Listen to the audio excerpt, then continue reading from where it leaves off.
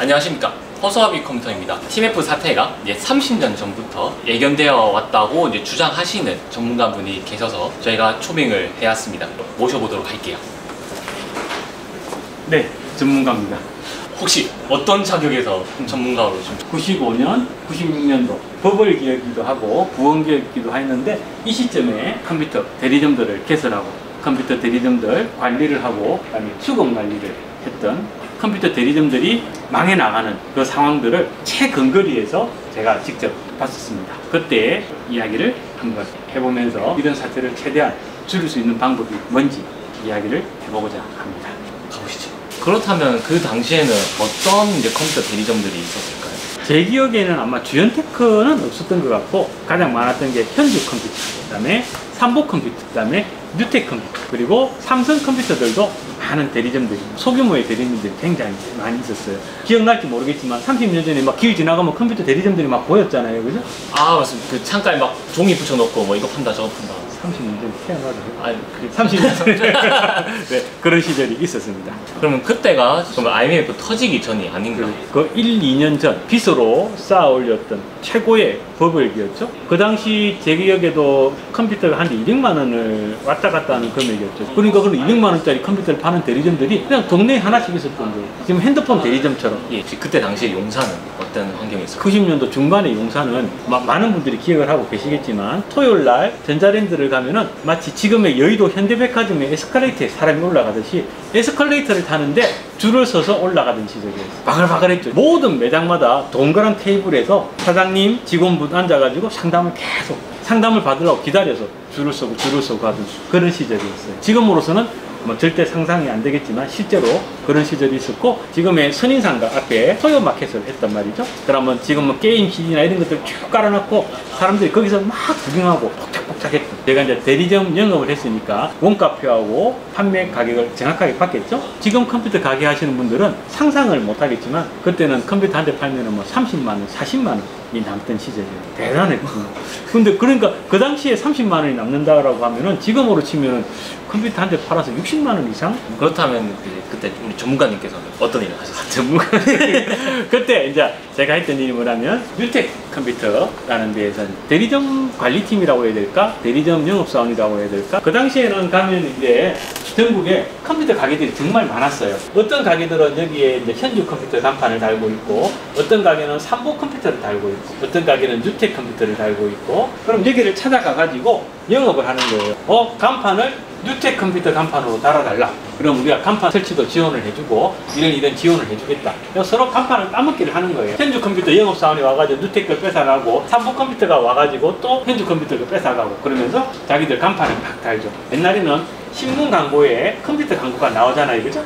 기억나는지 모르겠다. 어, 저 봤습니다. 음, 그럼 여기에 아래쪽에 이렇게 줄이 쳐져 있고 서울 대리점, 서울 대리점 이름대로 전, 전화가 쭉 나오고 경기, 대전, 대구 이렇게 쭉 나온단 말이에요. 그러면은 그 당시에 컴퓨터 회사들이 광고를 낼 때 내 대리점이 누가 더 많은가 이런 걸 경쟁하던 시절. 대리점 사장님들이 컴퓨터 주문을 하면은 그때는 물량이 없어서 못 나가던 시절이었어요. 다른 옆에 있는 동료 직원들 컴퓨터를 뺏어 와가지고 야 내가 먼저 갈게. 나 우리 대리점 점주님을 물건을 먼저 줘야 돼. 이렇게 막 뺏어 오고 그다음에 또 수금하고 컴퓨터 파는 것들을 수금이 또 잘 안 됐어. 그 이야기는 또 조금 이따 이야기를 하겠지만 수금을 하고 하는 그런 일들을 했었죠.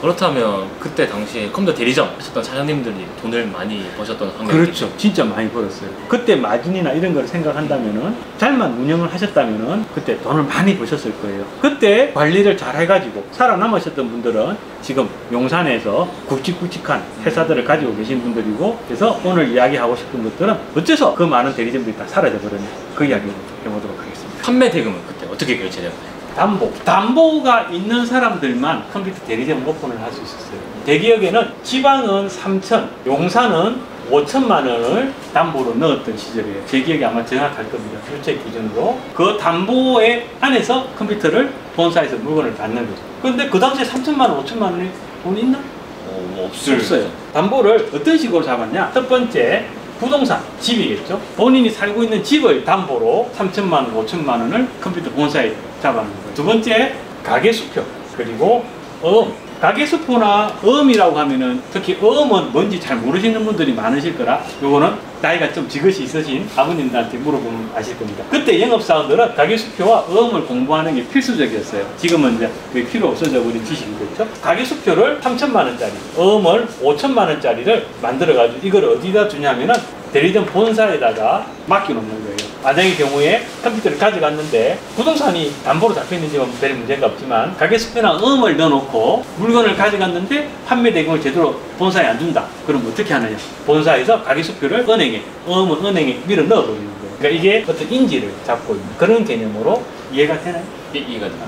그러면 지금 한 대당 마진도 엄청 많이 남아. 그렇죠. 왜 가게 사장님분은 못 보셨을까요? 여기서 이제 팀F 이야기가 나옵니다. 왜 지금의 팀F 사태가 30년 전에 컴퓨터 대리점의 사태와 연결이 되는 똑같이 반복되고 있는 그 이야기가 지금부터 나올 겁니다. 본사에 보증금을 넣어놓고 물건을 받는다고 했죠, 그죠? 자, 그러면 9월 1일이다. 9월 30일이다. 10월 1일이다. 9월 1일부터 9월 30일까지 본사에서 대리점으로 컴퓨터를 주겠죠? 그러면 그 대금은 9월 30일 날 본사로 대금이 들어가야 돼요. 당연한 거예요. 그럼 이렇게 되는 거죠. 200만 원짜리를 팔았다. 10개를 팔았다. 2천만 원이 되겠죠? 예. 예를 들어 한 대에 30만 원이 남았다. 지금 기준이 아니에요. 그때 30만 지금 이렇게 하면 못 남아요. 30만 원이 10대를 팔았다. 그러면은 300만 원이 남는 거죠. 대리점은 본사에 얼마를 입금을 해야 되느냐? 1,700만 원을 입금을 해야 되겠죠? 300만 원은 맞습니다. 대리점에 돈이 되는 거예요. 자, 그런데 여기서 문제가 생기는 거예요. 정말 착실한 사장님들은 200만 원짜리를 팔았다. 그러면 30만 원은 만 자기 몫으로 떼놓고 170만 원 계속 저금을 해놔요. 말일날 그리고 대부분은 말일 전에 본사로 다 송금을 해요. 상당수의 대리점들이 사장님 이번 달 팔은 거 얼마예요? 결제해 주세요. 결제 결제 안 해. 말일날 와서 이제 결제를 하는데 문제는 뭐냐면 현금을 결제를 안 해. 뭘로 결제를 해요? 돈이 없는 거야. 그럼 결제를 못 하잖아요. 그럼 어떻게 하느냐? 또 가계수표를 발행을 해요. 음을 발행을 해서 여기 1,700만 원짜리 가계수표를 만들어서 말일날 본사로 보내줘요. 어떻게 받느냐? 말일날 9월 30일 아침부터 영업사원들이 난리가 나는 날이에요. 아침 9시부터 전화를 해가지고 사장님 오늘 결제돼요. 오늘 돈 안 보내주면 우리 큰일 나요. 왜냐면 본사도 이 돈을 갖고 또.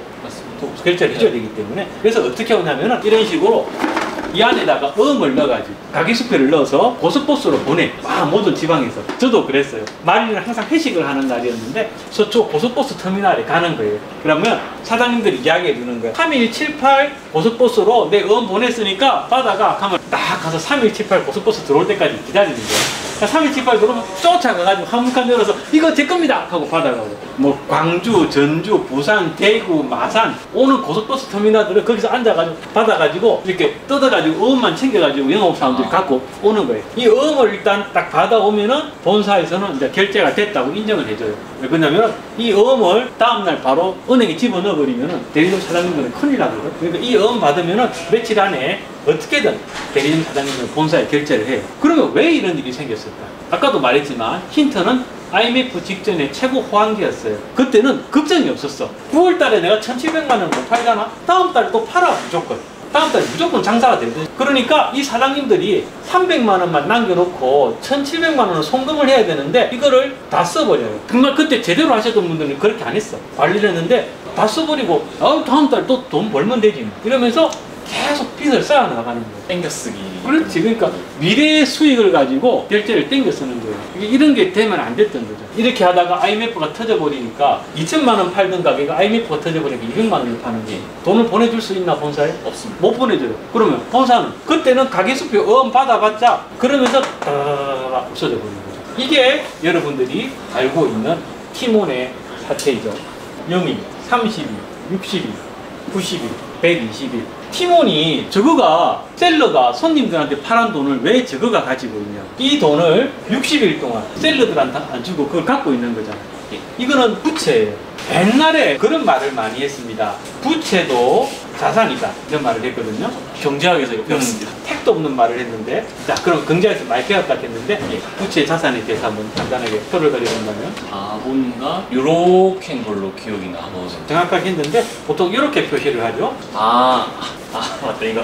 음, 쭉 감싸서, 예. 여기는 자산인데 자산은 자본과 부채를 합친 거다. 그래서 흔히 옛날에 빚도 자산이니까 빚을 내는 걸 두려워하지 마라. 실제로 빚이 자산일 수 있는 상황이 있어요. 이 부채가 내 공장을 짓는데 돈이 들어갔거나 나의 물건 재고로 있다면 이거는 자산의 일부가 돼. 10억만큼의 물건 재고와 공장이 필요하는데 나는 내 자본이 순수 자본이 5억밖에 없다. 이때 5억의 부채를 빌려가지고 합쳐서 공장도 짓고 내 물건 안에 재고도 있고 내 자산 안에 있으면 그러면 이거를 부채도 자산이다. 이렇게 표현을 할 수 있지만 부채로 한 거 싹 다 날려버리고 하나도 없으면서 10억 빌려놓고 어 나 10억 빌렸는데 이 10억도 나의 자산이야. 난 부자야. 이런 개똥 같은 소리를 한 거죠. 이게 문제인 겁니다. 티모는 여기에 있던 부채를 자기들의 자산으로 생각을 한 거예요. 이 부채만큼 재고가 있거나 아니면 업체들한테 셀러들한테 줄 돈이 있었다면 이걸 자산이라고 보는 건 맞는데 돈 하나도 안 남아있고 생전 빚이면서 난 이만큼 자산이 많다. 이런 이야기들을 했던 거죠 그러면 지금 이렇게 비슷한 상황이 있는 곳이 많겠네요. 많습니다. 기본적으로 결제일이 30일, 60일로 돼 있다고 하는 것은 아니 그럴 이유가 없잖아. 왜 30일, 60일 동안 저가 돈을 가지고 있는데 플랫폼이 왜 갖고 있어? 셀러한테 줄 돈이 없는 거예요. 이 60일 동안 이자놀이를 한다라고 생각하시는 분이 있는데 이자놀이가 아니죠. 이미 이 돈을 다 써버리고 없는 거예요. 어디에 썼어? 몸집이 커 보이려고 이미 돈을 다 써버린 거예요. 광고비에나 사세를 확장한다고 몸집이 커 보이면 뭐가 좋죠? 기업의 규모가 커 보이니까. 투자를 받을 수 있죠. 티몬이 대표적인 거죠. 근데 지금 이런 행태가 보이는 플랫폼들이 굉장히 많습니다. 그래서 우리가 조심을 해야 되는 거죠. 이자놀이 하려고 하는 게 아니에요. 이자놀이를 할 만큼 돈이 있다면은 정부에서 플랫폼 결제 기간을 60일에서 30일로 줄이라고 할 때 줄 수 있지. 음. 근데 우리는 결제를 못 줄인다 하고 계속 버티고 있는 이유는 이자놀이가 아니고 줄 돈이 없는 거예요 지금 이 60일 동안 수천억과 수조 원을 가지고 마치 자기 돈인 것처럼 그냥 쓰고 있는 거예요 왜? 다음 달 90일 벌어가고 이 돈 주고 다음 달 90일 돌아가고 이 돈 주고 언젠가 이렇게 몸짓이 커 보이면 은 몇 조짜리 투자자가 나타나겠지 제가 경제학의 전문도 아니지만 이게 지금 현실에 컴퓨터 가게들에서 벌어지고 있기 때문에 이 결제 시스템이 가장 잘 돼 있는 업체가 줄 아세요? 편의점 아, 편집. 편의점 들은 그날 버는 걸 그날 송금을 해요. 지금은 어떤지 모르겠지만 제가 30년 전에 편의점 업계에서도 그런 역할을 했었는데 그때는 그날 버는 거를 그날 점주님들이 퇴근하면서 통장에 넣어야 돼. 아니면 다음날 아침에 안 넣으면 바로 난리가 나. 그럼 아까 자산은 자본 더하기 부채라고 했죠. 그죠? 컴퓨터 가게들에서 왜 이런 일이 지금 벌어지고 있는지를 이야기를 줄 건데 어, 우리의 예를 들어서 그냥 이야기를 하도록 할게요. 재고만 가지고 이야기를 할게요. 저희들 같은 경우에 매장에 재고가 한 7억 에서 8억 정도의 현 재고가 있어요. 그런데 제가 부채가 있어요. 어떤 부채가 있죠? MSI, 아. 마이크로닉스, 아하. 웨이코스, 그 다음에 또 어디 있지? 다크 플래시, 예. 그 다음에 뭐 데이브. 데이븐, 앱코, 예. 일리테크 여러 업체들에 줘야 될 돈이 있어요. 여기 있는 게 다 내 돈은 아니에요. 예. 그 돈이 얼마냐면은 저희들 오늘 기준으로 1억 6천이 있습니다. 대략 5억에서 6억은 물론 이거는 가계 보증금 같은 걸 다 빼고 재고만 가지고 이야기를 하는 거예요. 부채 1억 6천과 자본 5, 6억을 합쳐서 7, 8억. 이게 제가 생각하기에는 이상적이라고 생각을 해요. 그런데 어떻게 되어 있죠? 재고가 예를 들어서 3억이 있어. 그러면 부채가 4억이에요. 자본은 없는 거죠. 이렇게 운영이 되는 업체들이 있습니다. 이해가 안 되지. 예, 그럼 이, 이거는 자산이 마이너스. 그렇지 마이너스지 내 가게에 있는 물건을 다 팔아도 거래처에 빌려 있는 미수금을 다 처리를 못하는 상황이죠 이게 뭐라고 그러지? 자본? 잠식. 그렇지 자본 잠식이 돼버린 거예요 이미 자본은 마이너스가 돼버린 거예요 내 자본이 부채보다 월등하게 많고 자산의 많은 부분을 차지한다면 이번에 티몬 사태가 터져서 미수금이 발생했을 때도 어느 정도 버틸 수 있었을 건데 이미 자본이 잠식된 상태에서 티몬이 터져버리니까 대응이 안 되는 이런 말까지 해, 너 사장님 비싼 거 아니지? 예. 맨날 맞습니다. 옛날에 그, 그 전에는 옛날 옛날에는 그 사태가 있기 전에 유니클로 맨날 입었고 이제 지오다노 이런 거 어, 예. 저는 생각해요 장사하는 사람들이 직원들하고 같이 근무를 하는데 직원들은 유니폼을 입고 직원들은 지오다노에서 옷을 입는데 우리는 사장이라고 백화점 1층에서 옷 사 입고 그럼 직원들 일할만 나겠나? 아, 어, 사는 됩니다. 물론 당연히 사장은 직원들보다 위험 부담이 많기 때문에 돈을 많이 버는 건 당연해 그런데 그거를 직원들한테 티를 내지 말라고 아, 직원들은 운동화 신고 다니는데 지는 번쩍번쩍 구두 신고 다니면서 가게 와갖고 뭐 하나 힘든 일 하나 안 하려고 그러고. 어. 직원들은 블루클럽 가서 머리 감는데 어디 가고 맨날 20만 원짜리 머리 감고 청담동 가고. 그거는 사장이 아니에요. 물론 최고 잘못한 건 티몬이 맞아요. 티몬이 맞지만 내가 만약에 튼튼하고 내가 건강했다면 내가 자산의 구조가 건강했다면 티몬 사태가 터졌다고 하더라도 그래도 서너 달 겨울이 되면은 컴퓨터 PC 업계는 호황기가 오잖아요 음. 그때까지 버틸 수 있는 여력이 있었을 거예요 그렇다면 이제 이 사태를 하기 위해서 어떻게 그러면요? 제 말이 정답은 아니겠지만 방법은 있습니다. 분명히 방법은 있습니다. 뼈와 살을 깎는 고통을 느끼셔야 됩니다. 누가? 사장님들이 느끼셔야 됩니다. 한 달에 나의 부채를 100만 원이라도 줄여나가려는 노력을 하셔야 되고 자산과 자본의 속에서 자본을 조금이라도 늘리려는 피를 깎는 노력을 하셔야 돼요.